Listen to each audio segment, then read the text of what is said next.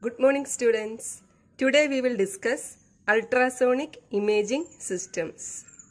Ultrasonic imaging is a non-invasive technique that use high frequency sound waves to generate an image. A high frequency sound wave is transmitted into the body, returning echoes are analyzed to create an image. The frequency of the sound waves used are usually in the range of 2 MHz to 12 MHz. Next is the principle of operation of ultrasound imaging. The main principle behind the ultrasonic imaging system is the piezoelectric effect. Here we are using a transducer. The transducer contains piezoelectric crystals. We know that the piezoelectric crystals can act as both transducer and inverse transducer. When an external force or stress applied to the piezoelectric crystals, it changes its shape and produces an electrical output. In this way, the piezoelectric crystals act as transducer. If we are applying an electrical signal into the piezoelectric crystals, it changes its shape and deforms and produces a signal. In this way, it acts as inverse transducer.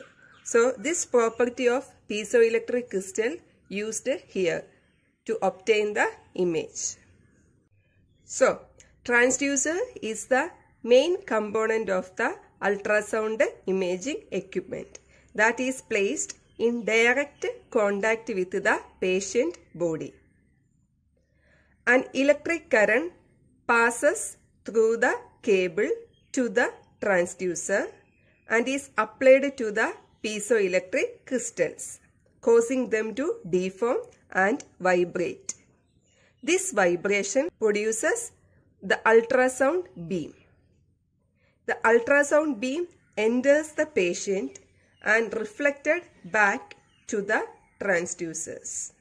These reflected sound waves cause the crystals in the transducer to deform again and produces an electrical signal that is then converted into an image and displayed on the monitor. Therefore, same piezoelectric crystals are used to generate and receive sound waves. So, this is the basic working principle of ultrasound imaging system. Next, we will discuss the applications of ultrasound imaging.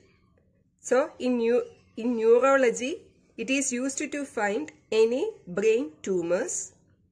In ophthalmology, to find any foreign objects in eyes. In cardiology, it is used to determine the cross-section of the heart and to determine heart rate. In gynecology, it is used to monitor the fetus growth and it is also used to identify the breast cancer. So these are the some of the applications of ultrasonic imaging system.